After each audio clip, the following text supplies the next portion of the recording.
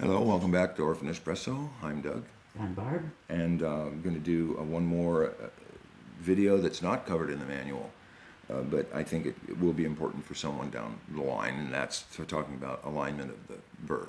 Basically, we're talking about alignment of the ring burr in the grinder. Uh, as I pointed out previously, this is we consider that the alignment to be permanent, factory aligned, and uh, in this module, there, let me go ahead and take it apart. Once again,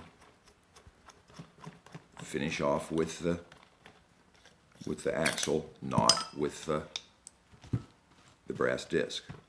Okay. In this section here,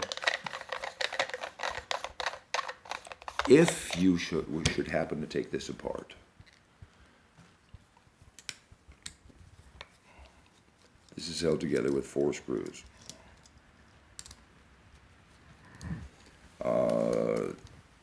Some of the screws were this black oxide and uh, we changed over to stainless steel at one point which I like a little better. Okay so I'll just show you how this is put together okay?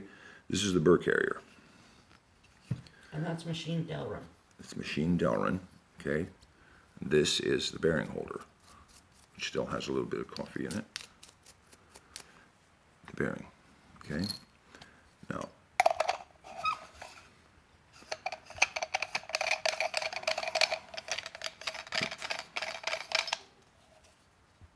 make sure that's good and tight. Now, in this part here, burr simply snaps in to place. Okay? So if you should take this out,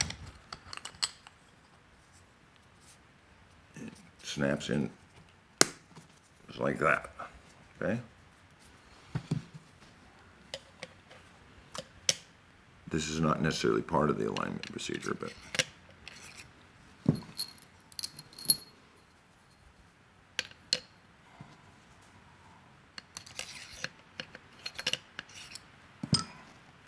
so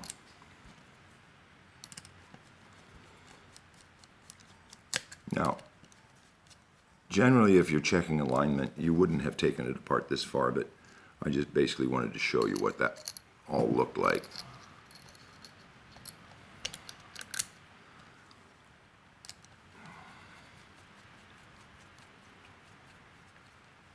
Now what I've done is that the four screws that hold it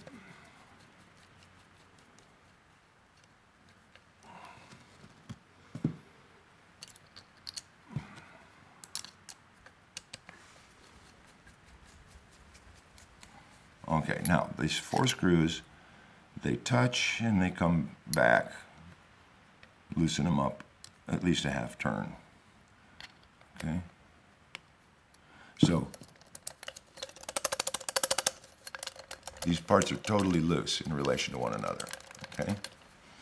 Now the part that moves, the, the, the part that's critical for alignment is that the, the Delrin piece, the holes are bigger.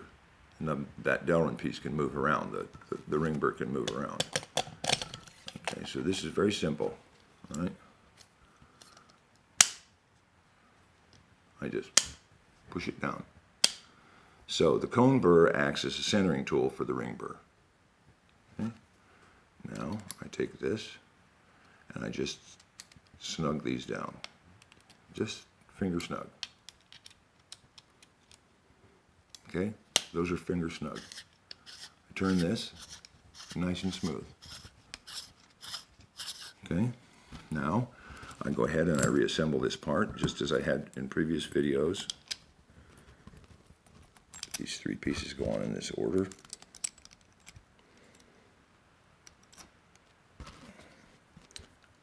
On comes the that. I hold it against the top.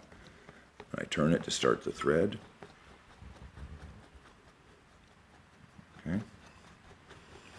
Now, theoretically, the the burr is generally aligned.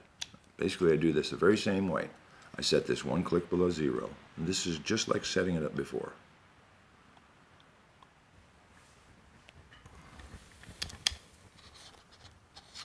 Okay, there's my rub. I don't have quite enough of a click. So you go a little coarser on Little the coarser. brass disc. There's a nice click.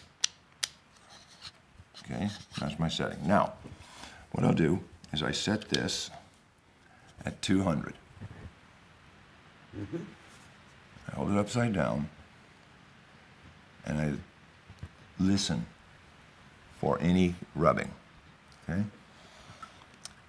This part is that what I'm doing is I want to tighten these screws so I maintain the parts are nice and parallel. In a that's done with the grinder set on two hundred. on 200. In a sense, you're you're you're able to to affect the axial alignment uh, if you over tighten one of these screws in relation to the rest of them. So I'm basically uh, going a little tighter and a little tighter, and checking back to make sure that I don't have a have a rub because if it's that you tighten the screws, uh, you get the whole thing cattywampus. So you snug those things up, and that's basically it. Your main alignment motion was pushing down straight in here, so the cone burr moves the ring burr the small amount that it needs to move uh, the Delrin carrier in order to be aligned. Then you come back and you check to make sure that you've tightened these down fully. Uh, you can use one of these. You get a pretty good control feeling to get the torque down. There, there, the torque is so light on these, it's hard to get a torque wrench to function. Now you check, and it's nice and quiet.